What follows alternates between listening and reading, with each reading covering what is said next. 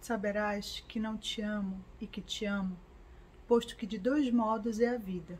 A palavra é uma asa do silêncio. O fogo tem uma metade de frio. Eu te amo para começar a amar-te, para recomeçar o infinito e para não deixar de amar-te nunca, por isso não te amo todavia. Te amo e não te amo como se tivesse em minhas mãos a chave da fortuna e o um incerto destino desditoso. Meu amor tem duas vidas para amar-te. Por isso te amo quando não te amo, e por isso te amo quando te amo.